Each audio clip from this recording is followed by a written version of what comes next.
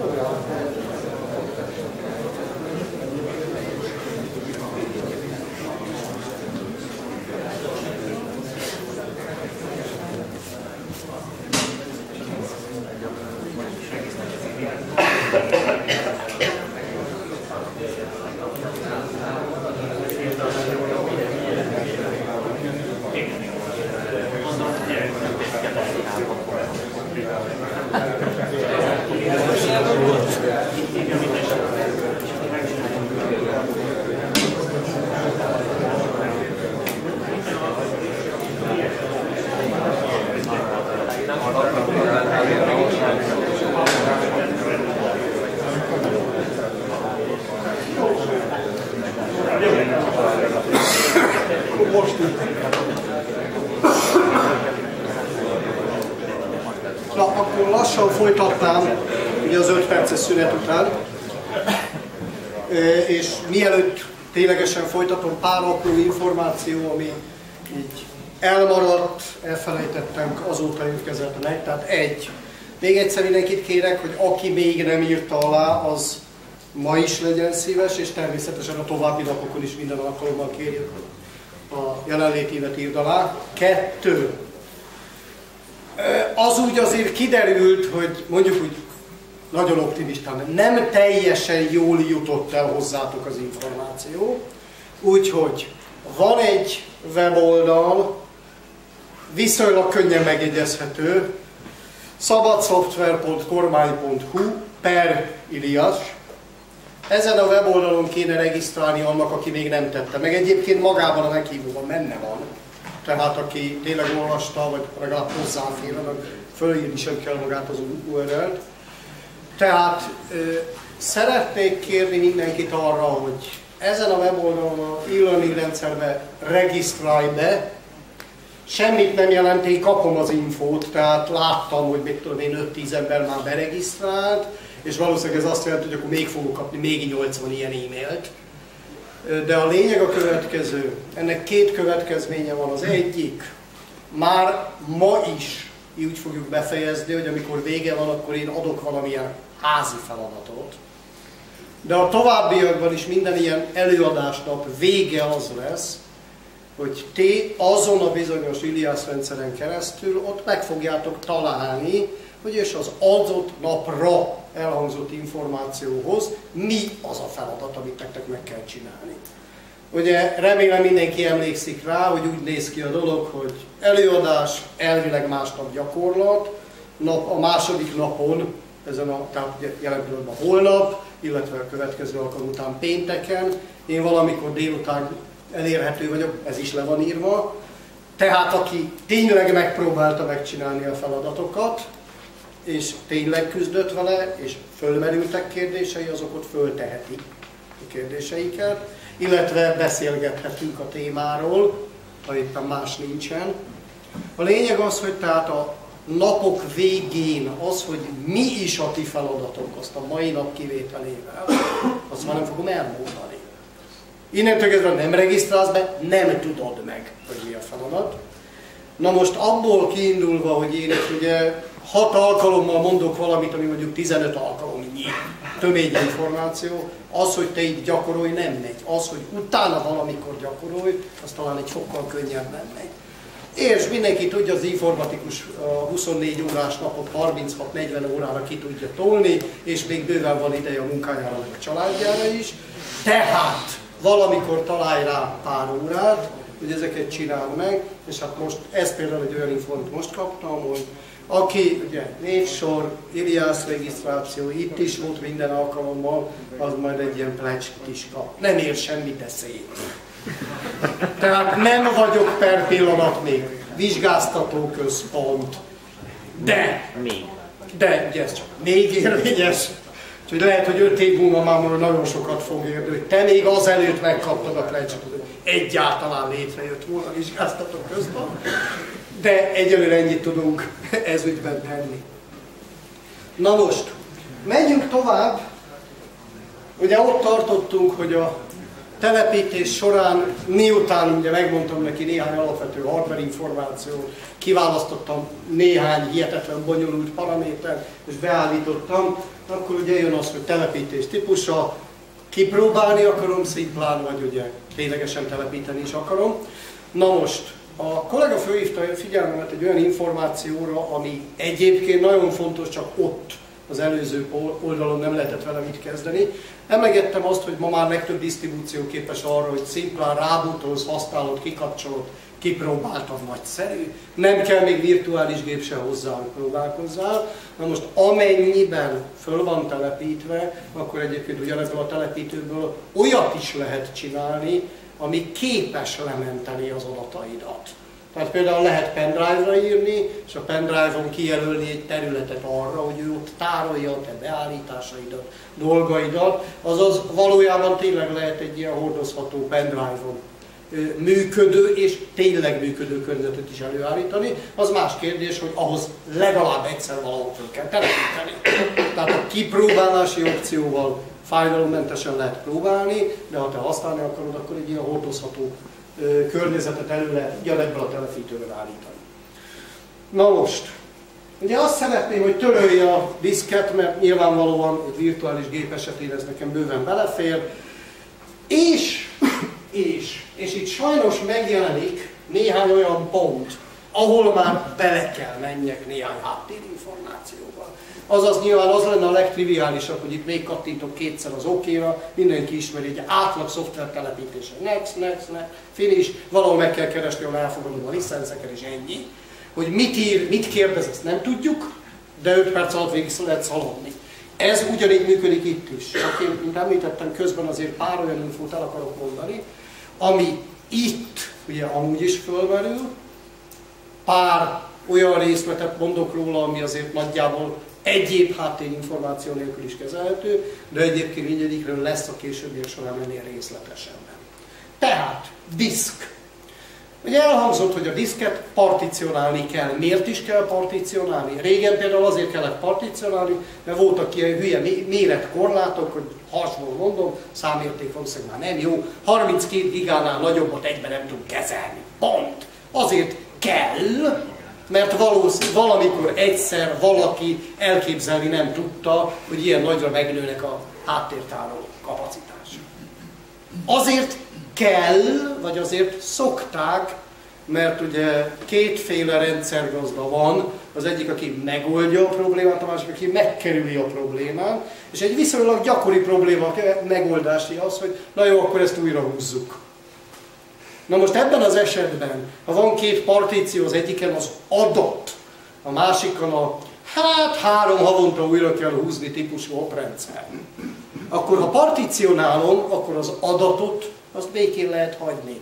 Nem azt mondom, hogy nem kellene menteni, de elvileg mentés nélkül is túl tudom élni. Ha nem partícionálom, akkor mentés nélkül garantáltan nem tudom túlélni. Bocsánat, nem akarok senkinek a lelkébe válni, tudom, hogy legalább ezer rendszergazdából egy tudja, hogy hogy kell úgy telepíteni, hogy és megmaradjanak a partíción az adatok, de azért ezek kevesebb vannak. Viszont azzal, hogy szimplán ketté partícionálunk, vagy nyilván többe, ezzel már is könnyítem a saját életemet. És persze nyilván a harmadik, ami ugye egy valós, nem virtualizált környezetben szintén fölmerül. Amikor azt mondom, hogy nagyon is próbáljuk ki, de nem virtuális környezetben, hanem a régebben még virtualizáció időt, előtti időszakban gyakran használt módon, hogy beindítom a gépet és kiválasztom valahol a boot során, hogy bocs, Linuxot akarok, vagy Solaris-t akarok, FreeBSD-t akarok, vagy Windows-t akarok, vagy azt a Windows-t, vagy azt a Windows-t. Ez is ugye a legkényelmesebben úgy ment, szét volt particionálva, különböző partíciókra telepítettem a különböző operációs rendszereket. Na most, nyilván virtuális környezetben ez nem érdekes. Viszont mi van akkor, hogyha van egy gépen, és abban a gépen van 8 diszk? Egyszerűen azért, mert ezeket a leselejteztük, mert már kicsi a kapacitása. Jellegű hulladékokat én szállítom haza. Mert arra még jó lesz, hogy az egyébként három perc alatt újra letorrenthető filmhelyet, újra tároljam rajta. Ilyet nem mondtam, ezt majd kívánjuk. Na most, van olyan, akinek nem laptopja van, ugye? Azért még rajtam kívül van pár ilyen asztali gép használó. Mert laptopban azért kettőnél ritkán szoktak több diszket rakni. De azért asztali gépbe elfér 4, 5, 10. Milyen nagyon jó, hogy van 8 darab 80 gigás diszkem. Erre szokták ugye intelligensebb emberek azt mondani, hogy mi lenne, ha kiszórnád a szelektív hulladékgyűjtőbe, vagy hát a veszélyes hulladékgyűjtő részét. Elmennél és 20 ezer forintért vennél egy tízszer ekkora kapacitású, ezredennyit fogyasztó, gyorsabb szed. Jó, de hát ez még működik. És előáll az, hogy van a gépemben egyébként fél teradiszk, ilyen apró kis morzsákba szétszólva. És egy normális méretű filmet már nem tudok rárakni. Na itt jön elő az, amit a Linuxos világ úgy hív, hogy LVM, Logical Volume Management. Vagy Logical Volume Manager, ki hogy szereti fordítani. Ez egy olyan szoftver komponens, amelynek az egyik leggyakrabban használt funkciója, hogy több diszket virtuálisan egy nagyobb diszké összefog. Technikailag ezt a nagyobb diszket egyébként volume groupnak vagy kötetcsoportnak hívják, ami úgy viselkedik, mint egy diszk, tehát lehet particionálni. Ezeket a partíciókat egyébként úgy hívja, hogy logical volume, azaz logikai kötet.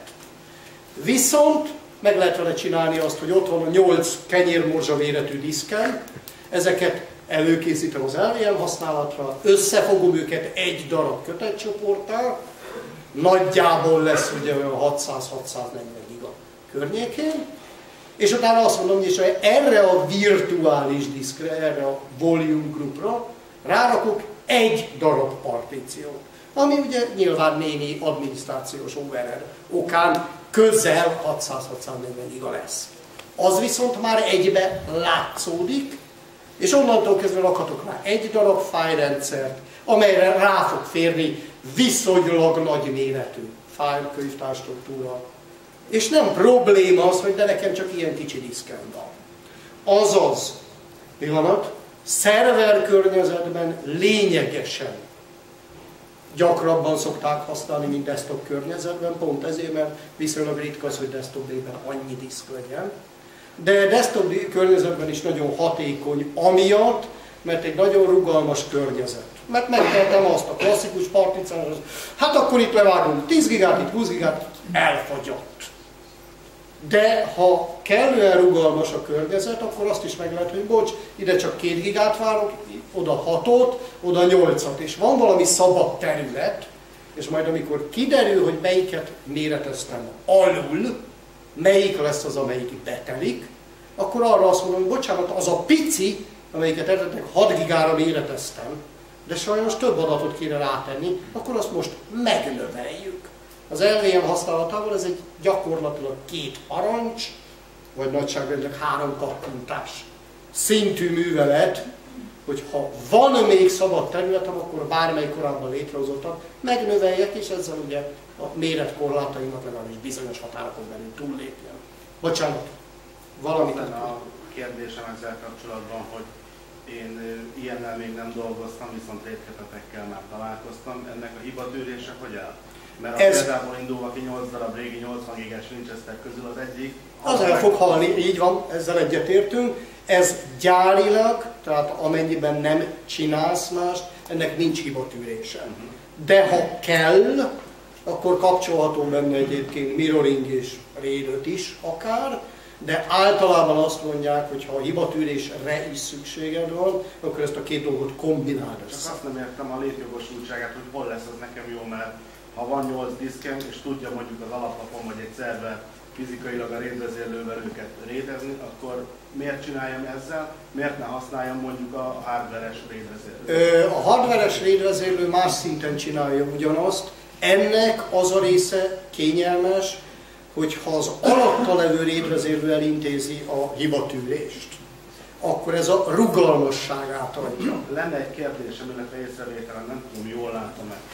Kvázi, hogyha egy, mondjuk egy rédötös vagy egy rédhatos kötetbe kipusztulás van, vagy esetleg a rédvezérlő elhullik, ott akkor már hogy elkezd izzadni az ember, hogy a rajta lévő adatot, hogy az Isten nyilába fogom egy másik rédvezérlőn visszanyerni. Tehát azért ez nem egy olyan hétköznapi eset szerencsére.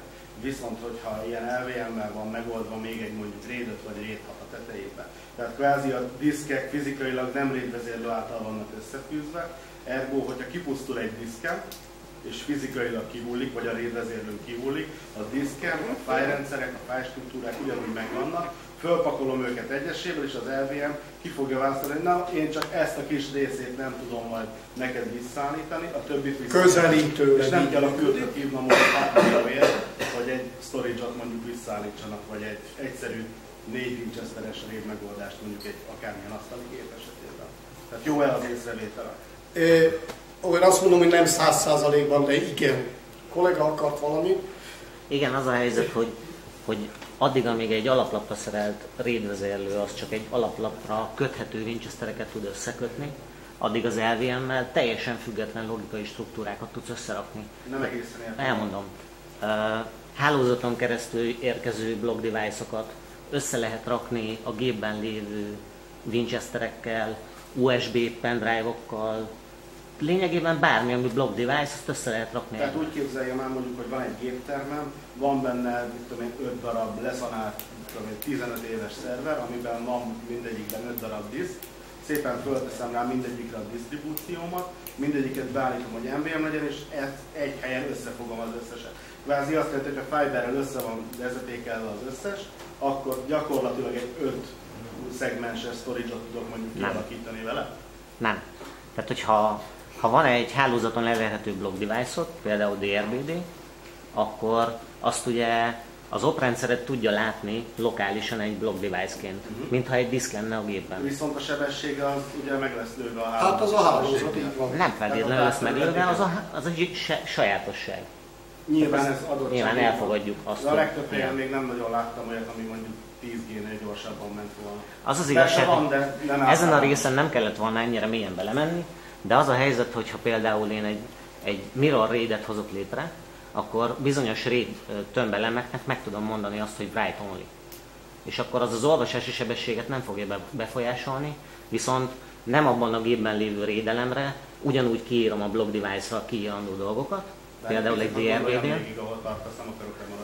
Tehát az a lényeg, hogy bizonyos elemekre csak írok, és ezért nem fogják befolyásolni az olvasás sebességét. De szerintem egyébként nem itt tartunk, úgyhogy ezt már inkább a szünetből beszéljük meg. Na, szóval én finomítanék inkább. A rédet inkább arra használnám, hogy meglegyen a adatbiztonság, az LVM-et meg arra, hogy azt, ami előre láthatatlan, hogy melyik adat kupacnak mennyi hely kell ezt a rugalmasságát adjam. Tehát azt mondom, hogy... És bele lehet tenni új diszkeket a gépbe.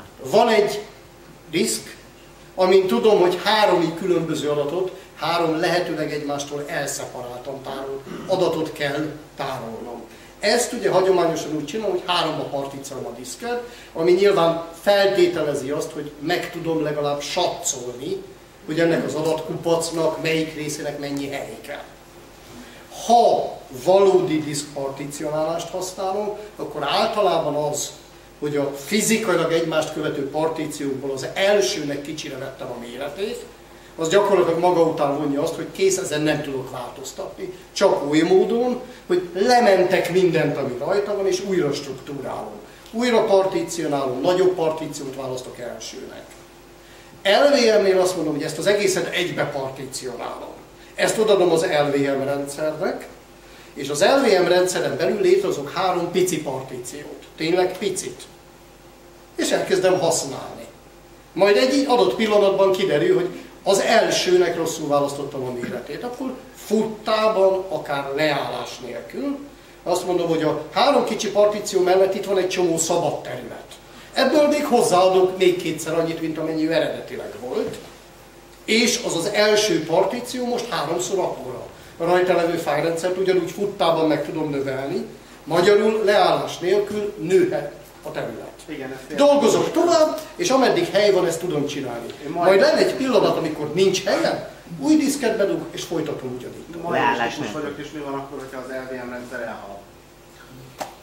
De az LVM az nem egy adatbiztonsági megoldás, az a RAID, az egy másik történet.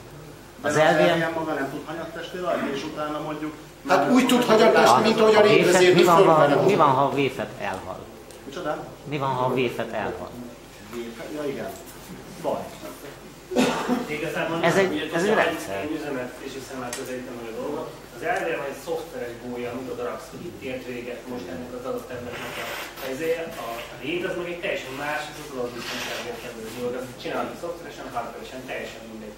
Ez nem mindegy, de mindenképpen van. Az LVM az mondjuk egy gyakorlati példát, amikor létrehozol egy MySQL területet úgy particionálod, hogy mindig elég lesz neki 4 giga, meg tök jó és aztán utána aki beletöltik Magyarország összes emberét, és hirtelen nem fér bele a 4 giga, ilyenkor az elvérnél arra rakod a búját, mert uh, hagytál logóknak mondjuk 50 gigát, annak nem kell csak 1 giga, arra rakod a búját, elvonod a log területről, mert oda nem kell, és átrakod a SQL területre. Az elvér most inkább, inkább úgy érdemes elképzelni, mint egy documentet beépítve.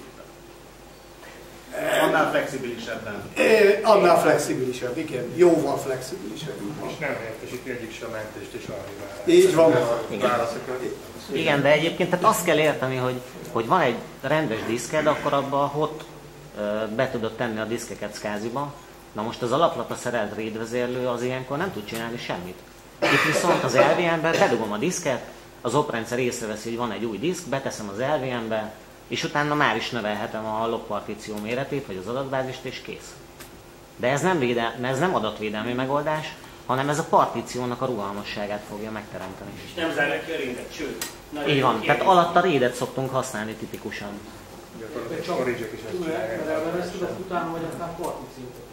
Partíció. Minden logirás, minden, ami logirás. Igen, igen. Tehát anélkül, hogy partíciót egy gyakorlati példával tudnánk esetleg szemléltetni ezt nekem?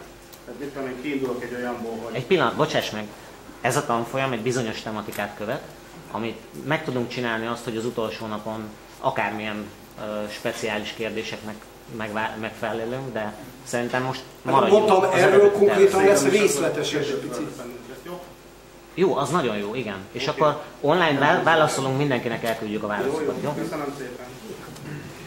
Na szóval, tehát mondjuk úgy, hogy a hagyományos particionálás mellett, mert ugye az nem kihagyható, de amellett egy rugalmasabb funkciót, vagy rugalmasabb particionálási mechanizmus lehet ezzel a bizonyos LVM-mel. Azaz, ha akarom, akkor dolgozhatok úgy, hogy a virtuális gépemhez újabb és újabb és újabb diszkeket, virtuális diszket csatolok, de maga az operációs rendszer az LVM használata miatt azt látjuk, hogy egyszerűen nő a diszk mérete. És persze ugyanez a fizikai környezetben is így működik. Ha az LVM-et használom, akkor az, hogy raktam be egy új fizikai diszket, akár ténylegesen lokálisan, akár hálózatról egy eh, ISCAS-in keresztül, akár FC-n keresztül elérhető perifériát, az csak annyit jelent, hogy egyszerűen megnőtt egy partíció. Na most. És a fájrendszer mit csinál ilyenkor? Nem, az a következő lépés. Na most, ezen túlmenően természetesen főleg desktop környezetben szokták ezt a részét értékelni, de nyilván szerver körül ugyanilyen hasznos lehet. Ha kell, akkor persze a telepítés során azonnal beállítható, hogy az egyes diszpartíciókat titkosítva óhajtanám használni. Mondjuk én úgy vagyok vele, hogy ez egy gyengébb, régebbi gépen érzékelhetően visszafogja a teljesítmény, ellenben, ha szükséges, akkor persze meg kell csinálni. Utólag is beállítható, tehát ez sem feltétlenül olyan, hogy ha itt elrontottam, akkor az, az már soha többet nem fog változni. Csak akkor persze megint meg kell két-három plusz parancsot. Na most, itt most egész egyszer azért, mert maga a diszk, amin ez az egész virtuális gép működik, már önmagában titkosítva van, én magában a virtuális gépben nem kapcsolom be, magával a virtuális géppel túl sokat nem fogok ilyen szinten játszani, ugyanezért most én itt az LVM-et sem kapcsolom be. Majd amikor erre kerül a sor, akkor ott különben úgyis végig fogjuk játszani. Azaz különösebb jelentősége annak, hogy itt bekapcsolom, nincsen. Mellékesen, ugye itt ez a meglehetősen nagyvonalú és a többi kategóriájú pont jelzi azt, hogy ha te nem egy, úgy gondolod, hogy neked nem szimpatikus, vagy inkább jobban szeretnéd látni, hogy mi történik ott a diszkekkel, akkor azt kiválaszt, hogy egy ennél részletesebb particionálási lehetőséget kapcsolunk. Na most, ehelyett ugye azt mondom, hogy talán akkor lassan induljunk el.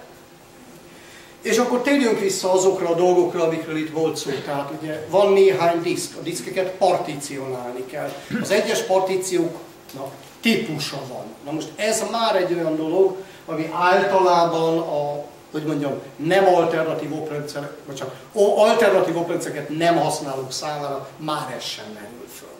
Tehát aki világ életében a PC-n csak kizárólag egyféle oprendszert használ, annak gőze nincs arra, hogy amikor egy partíciót létrehozol, akkor egy ilyen partíció azonosítót is be kell állítani.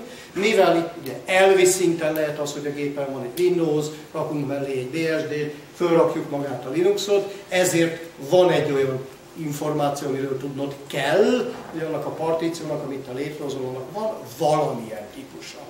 Ebben az egyéb almenüben egyébként ezt is be lehet állítani, és majd később erre is visszatérünk. Telepítés, ugye elmolyolt valamit itt a diszkekkel, nem tudjuk mit csinál, de azt mondja, hogy jó, oké, állítsuk be a következő információt. Aki nem foglalkozott Unix vagy Unix-szerű oprendszerekkel, azok általában nem tudnak egy eléggé kellemetlen az időkezeléssel és a számítógépes időkezeléssel kapcsolatos problémáról. Ugye addig, ameddig a gépek ténylegesen klasszikusan helyhez kötöttek, addig az, hogy a gépben levő saját óra mit mutat, hogy mennyi az idő. Az teljesen jó, hogy azt az időt mutatja, ami az adott helyen, az adott pillanatban érvényes.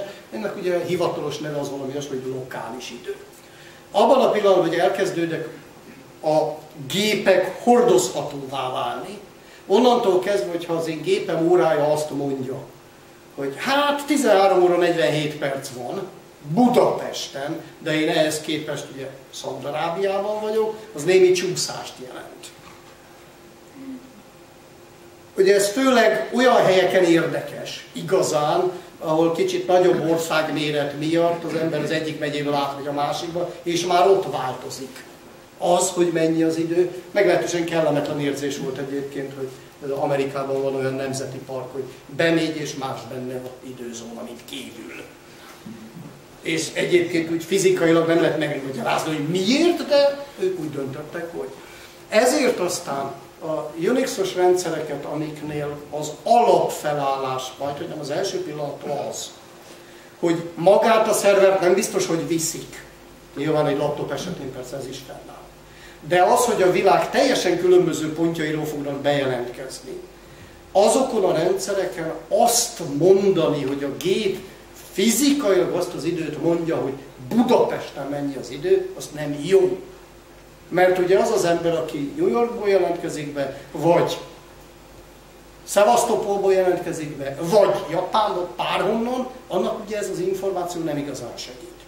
Ezért egy mai napig érvényes konvenció, amit egyébként nagyon kevés helyen szoktak betartani, és aztán furcsákan néznek, hogy a gép saját óráját beállítjuk egy jól definiált időzónára.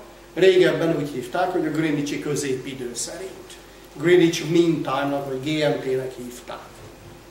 És van egy plusz információ, az pedig az, hogy te, aki jelenleg éppen használod a gépet, milyen időzónában vagy az adott pillanatban.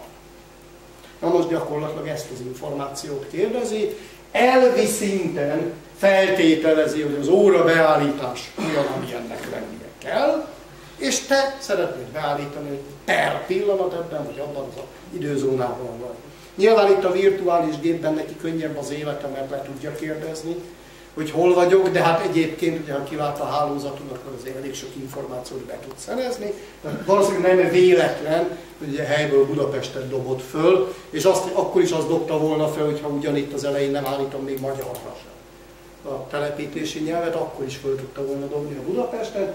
Na most nem fogom megcsinálni, mert ugye utána büdös életben nem találom el ezen az apró bolha térképen, de elvileg viszonylag könnyedén az egérrel arrébb vonhatnám, és mondhatnám, á, Vilniusban vagyok, á, Rómában vagyok, bocs, Berlinben vagyok, és ezzel a tényel magával beállítottam az időzóna információt.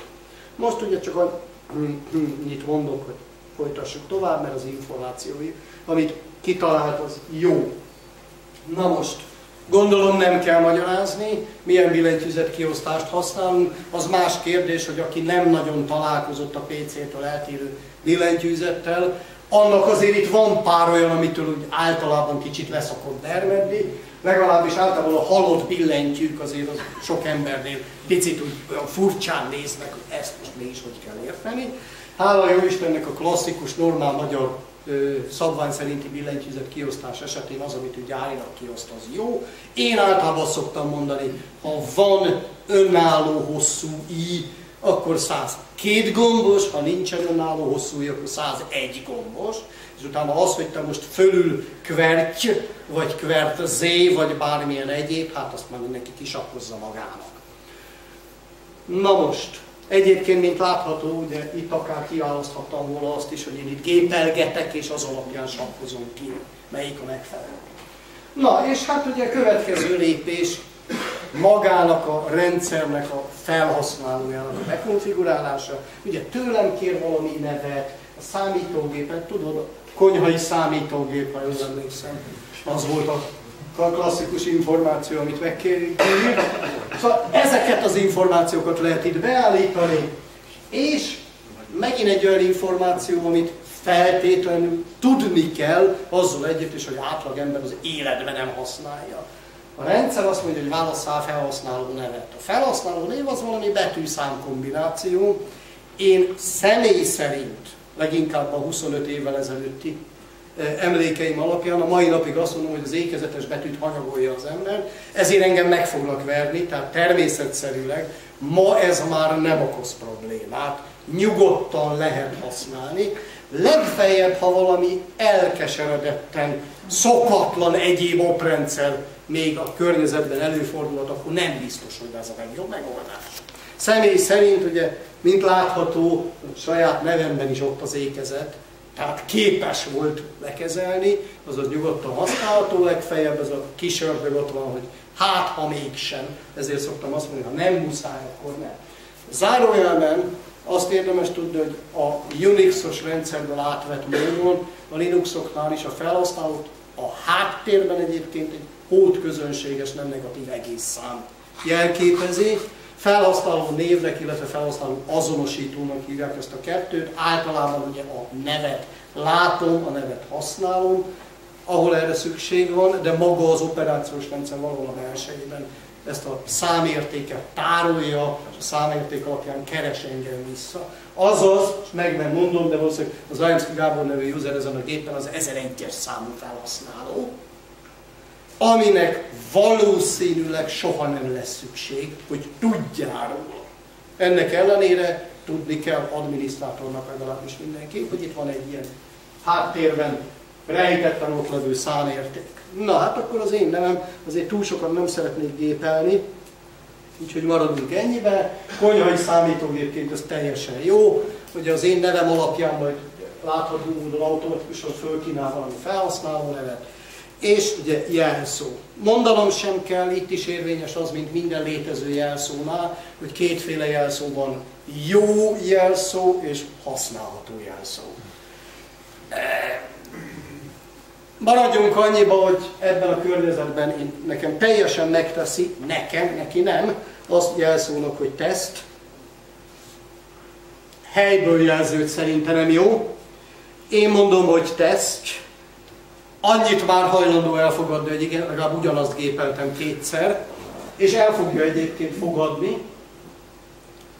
Mint látható, beállítható egyébként az is, hogy ha én egyedül használom ezt a gépet, akkor nem kell bejelentkezéssel bohóckodni, helyből a rendszer indításkor azonnal betesz a rendszerbe. Ezt én őszintén nem szeretem, nem szoktam beállítani. Nyilván egyedi magányos férfiak által használt számítógép soha nem jön föl se, se nő, se férfi, se kutya, se macska, ott ez tökéletesen meg, megoldható. Egyéb esetben azért az automatikus bejelentkezést én még desktopgépen sem javaslom. Na most, jelszót megkövetelünk, és mint mondtam, ugye azt is lehet, hogy az egész diszk minden adatterület titkosítása helyett vagy a nélkül kizárólag csak az én adatterületet titkosítsa. Most megint csak itt éppen nem állítom be, de egyébként ugye lehetne. Na most, kicsoda ön? És mint látható, itt alul remélhetőleg egy idő után meg fog jelenni, hogy elindul a bitkolbász, és a magáért. Nem tudom, föltűnte, millió dolgot nem kérdezett meg. Cipőméret, hálózati kapcsolatokról annyit, hogy valamit látott, és az neki elég volt, és nem is óhajtott többel foglalkozni, és megy. És a továbbiakban mennek ezek a mindenféle izgalmasabbnál izgalmasabb ábrák, gyors, szép, ezért kell használni, azért kell használni. Na most visszatérnék itt az elejére, miért is kell használni? Tehát miért jó, hogy én éppen pont Ubuntu-t mutatom? Miért sugallom mindenkinek, hogy használjon Ubuntu? Többször elmondtam, nem sugallom. Természetesen mindenki használja Ubuntu-t, de egyébként azt használsz, amit akarsz. Ami ugye egy pozitívum, én kihangsúlyoztam, hogy legalább próbáljunk már meg egy kicsit legálisak lenni, legálisan letölthető, legálisan ingyen használható. Oké, okay, rendben. Van mögötte egy szapport, nagyszerű. Akinek volt dolga már gyártói szapporttal, az tudja, hogy van, amikor a hajamra kenhetem. Félrejtés ne esik, van, amikor jó. Tényleg hallottam már embert, aki szerint állítólag láttak olyat, akinek sikerült választ kapni a felmerülő problémájára. Tehát ez a része van, akinél persze fontos. A másik fele is az Linux esetében egy sokkal-sokkal fontosabb dolog. Miért azt használd, amit éppen használsz? Azért, hogy amikor problémába ütközöl, akkor legyen kitől kérdezni. Tehát általában azt szoktam mondani, hogy használj azt, amit az általad ismert, hozzáértőnek minősített Linuxos emberke használ. Mert ha problémád van, akkor tőle tudsz kérdezni. Ha ilyen nincs, akkor használd azt, amit lehetőség szerint könnyen tudsz ilyen közösséget találni. Vagy ha ilyen sincs, akkor használd azt, amit a legtöbben használnak, mint egy millió. Légy kategória. Azaz, miért mondtam például azt, hogy Ubuntu? Jelenleg a felmérések alapján mind Magyarországon, mind világszinten úgy tűnik, hogy ez az, amit legtöbben használnak. Nem ez a legjobb. A legjobb nyilván a FreeBSD, de most nem arról tartottam. De ezt használják legtöbben. Magyarul valószínűleg a legtöbb olyan embert lehet találni, aki tud válaszolni a felmerülő kérdésre. Valószínűleg a legtöbb leírása van hozzá, valószínűleg a legtöbb szoftver találod meg hozzá. Ugye éveken keresztül, mondhatnám évtizedeken keresztül alapvető probléma volt a Linuxot, hanyagoljuk, mert nincs support. Jelen pillanatban a Red Hat ad supportot, a SUSE ad supportot, az Ubuntu ad supportot, mondhatom, Magyarországon szeptember 1-től a HP ad supportot, például az Ubuntuhoz. Ha valakinek van pénze és kedve, megfizetheti. Éveken keresztül azt mondták, hogy de ezen nem futnak a. És akkor ugye jön az, hogy nem megy a Flash, nem megy a Java, nem megy a Skype, nem megy a nem tudom micsoda. Ez mind-mind ma már nem tényező, mert megy rajta a Flash, megy rajta a Java, megy rajta a nem tudom én micsoda. De nem lehet rajta játszani. Egyébként lehet, nyilván más játékigényeik vannak. De a helyzet persze ez sem ennyire katasztrofális. Az utóbbi években azért ez elég rendesen javult. Ma már egyre több, nyilván még mindig jéghegy csúcsán a bolha, de egyre több játékfejlesztő jelenik meg úgy, hogy amit ő játékot kiad, az rövid időn belül megjelenik ilyen-olyan-olyan konzolon, ilyen-olyan-olyan PC-s operációs rendszeren, mind az egyen, és aztán esetenként megjelenik Apple-re, és esetenként megjelenik Linuxra.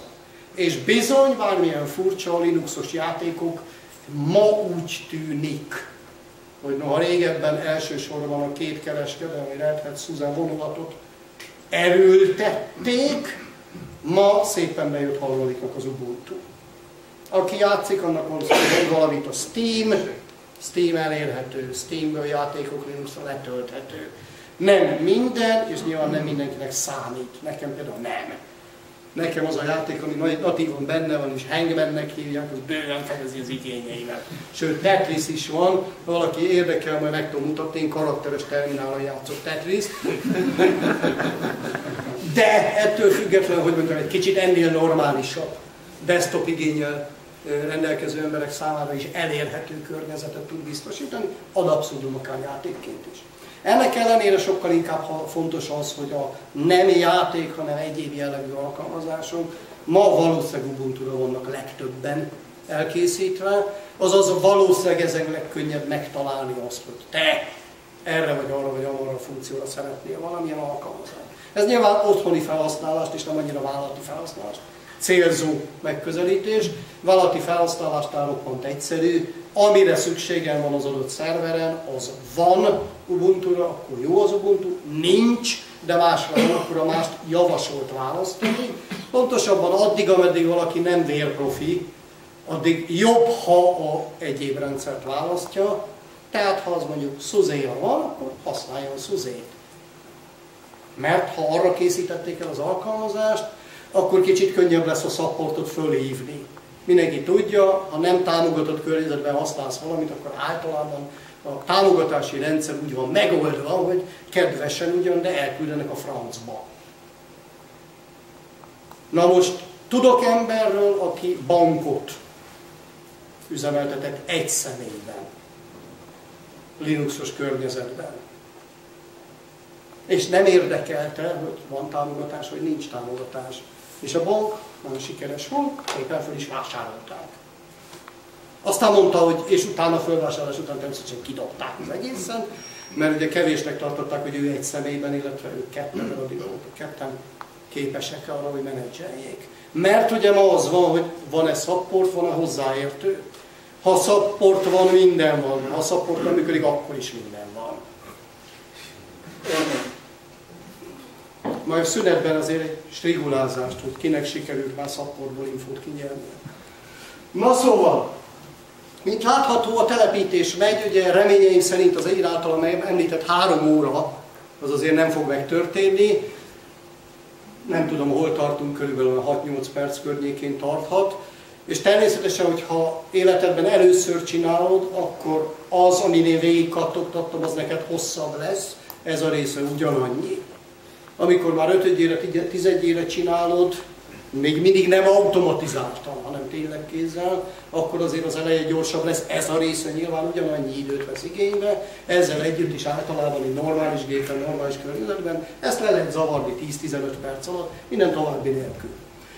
Nagy vállalatnál, vagy nem is annyira nagy vállalatnál természetesen az is szempont, hogy oké, okay, oké, okay, és nem lehet ezt mondjuk automatizálni, mert hogy annó vásároltunk cégtől 70 ezer tök egyforma gépet, minden létező hardware alkatrész ugyanolyan benne, és mindent ugyanúgy akarok, akkor ne kelljen már 70 ezer gépen végigmenni. Akkor sem, ha csak 15 perc, sőt akkor sem, hogyha az első nagyságrendileg 20 kattintást le tudom zavarni 15 másodperc alatt, mert a telepítés a továbbiakban már nem igényel különösebb beakatlást. Természetesen ilyenre is van módszer, van, itt is létezik az unattended installnak nevezett mechanizmus. Ha kell, előkészítem ilyen és ilyen és ilyen beállításokkal óhajtom, és a továbbiakban megy automatán.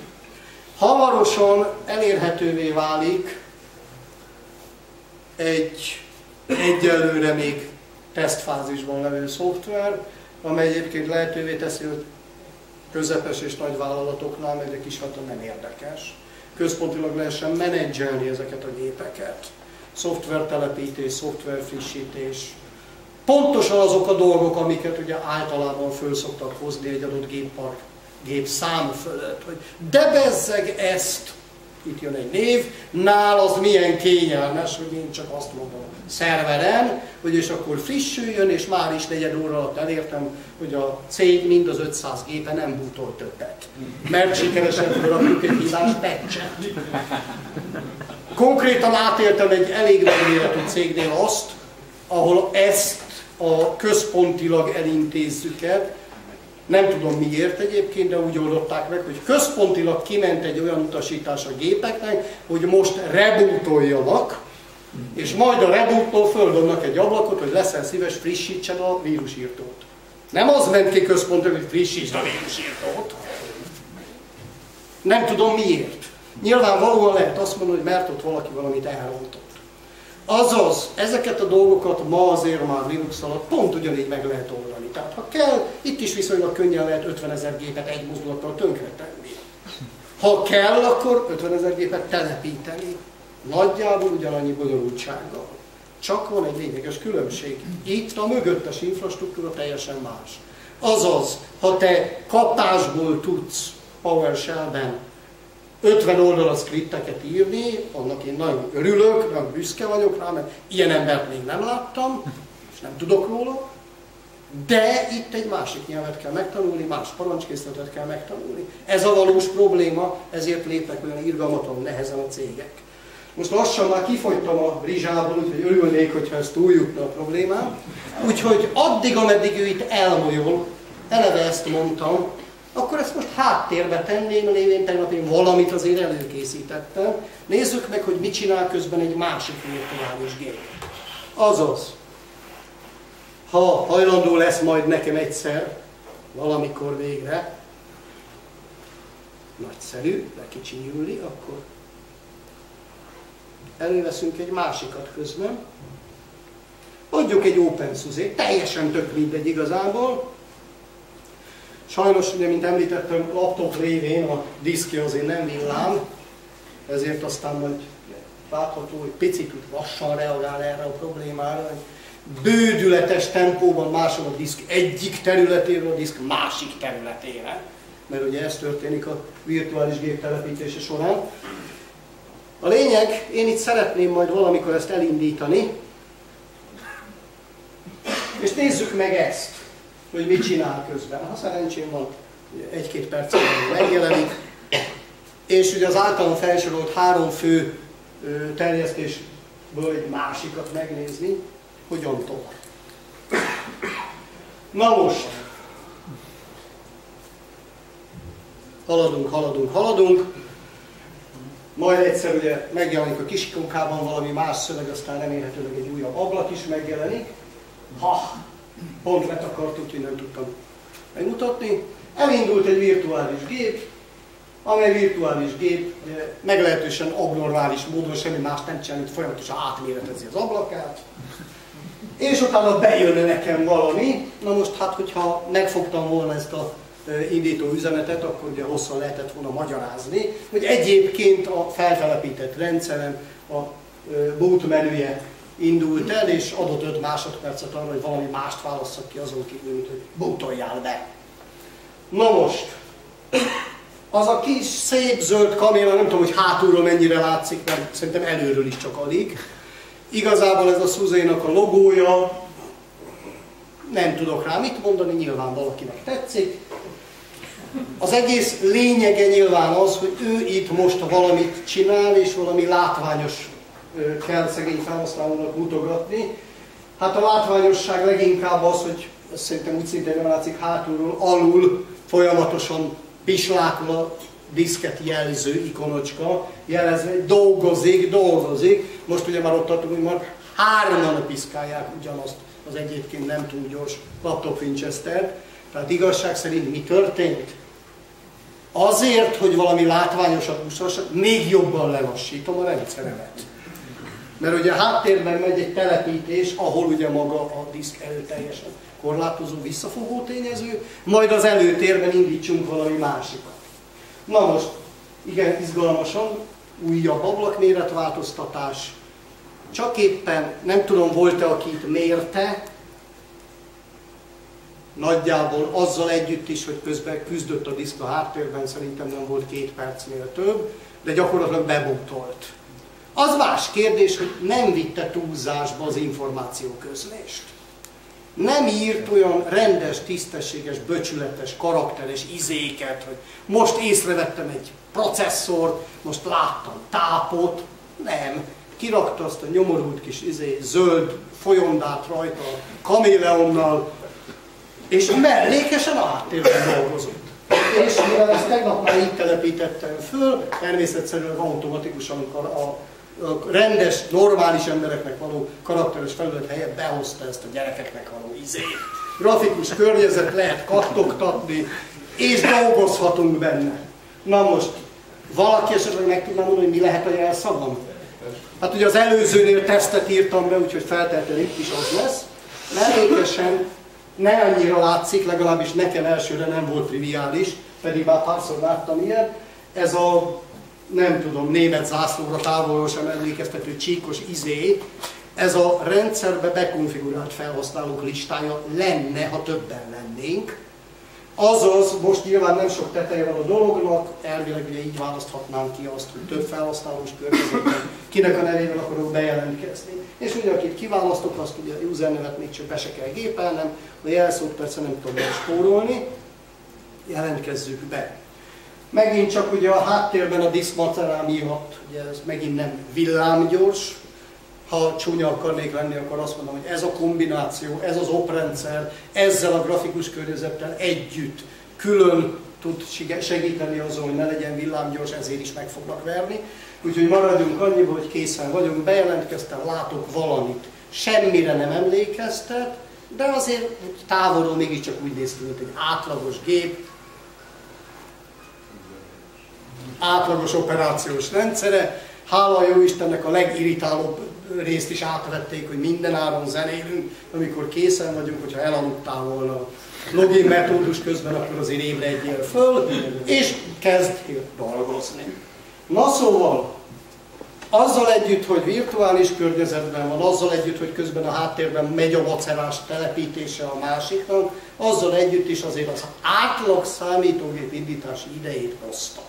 Természetesen én is tudom, hogy ma ugye az egy nemes versengés, hogy kinek rövidebb, azaz ki tud egy gépet a semmiből a tábgomb megnyomásával mondjuk kettő másodperc alatt működő állapotba hozni. Vigyázzat, nem hibernált állapotában, kikapcsolt állapotában, mert ugye ez ez volt. Én úgy vagyok vele, hogy aki szervert üzemeltet, az ebből a versengésből általában kimarad, életem nagy élménye volt, amikor egy szervernél én 45 perc után telefonáltam, hogy most azért időszel lenne, hogyha elvinnétek a hulladékot, mire mondták, hogy mi, mi bajod? Hát mondom, mert 45 perce bútol, és úgy érzem, hogy hibás. Hogy majd, ha egy óráig se sikerült, akkor szóljál. És 53 perc után megjelent a hardware teszt. Majd, azért, hogy szép legyen a dolog, ez annó egyébként nagyon fájdalmasan érintett, kidobott egy üzenetet, és azt mondta, hogy most van 10 másodpercet megszakítani. De előtte ugye én 54 percet meredtem a képernyőre. Na most, aki mai szervert üzemeltet, az persze már nem tudja átérezni ezeket a nemes, ö, hogy is mondjam, órákat, de mondjuk azért egy mai rendes, sok diszkes, kázi, sas, vezérlővel ellátott szervernél azért nem megy az egy-két percen belül. Nekem speciál az otthoni asztali gépem is úgy indul, hogy két perc, mire túljut az, hogy mi van a skázi buszon. Lassan már semmi, de azért ez két percig tart neki. Úgyhogy ha valaki ezen a gépen tudna gyorsabb bútot produkálni, azt azért eléggé elcsodálkoznék rajta. Rendes szerverben azért végig teszteljük a hardvert. Itt nyilván nincs mit végig tesztelni. Ennek én úgy gondolom, hogy ez azért egy-két perces, rendes, tisztességes bootidő nem rossz. Nyilván, ha kedvem lenne, és pont ez lenne a lényeg, akkor lehetne ennél rövidebbet is előállítani. Mint mondtam, már lehet időnként ilyen 5-10 másodperceseket találni. Én egyébként megőrülök tőle, mert bejelentkezhetek 10 másodperc múlva, ez kérdés, hogy mögött az operációs rendszer még vakarózik fél órát.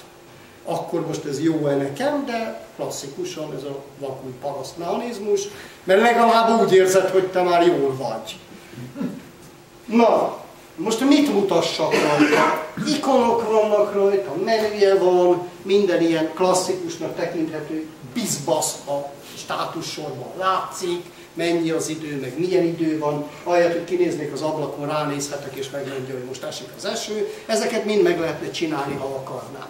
Hanyagoljuk természetesen, úgyhogy ezt, mit ad Isten, ezt is angolul telepítettem.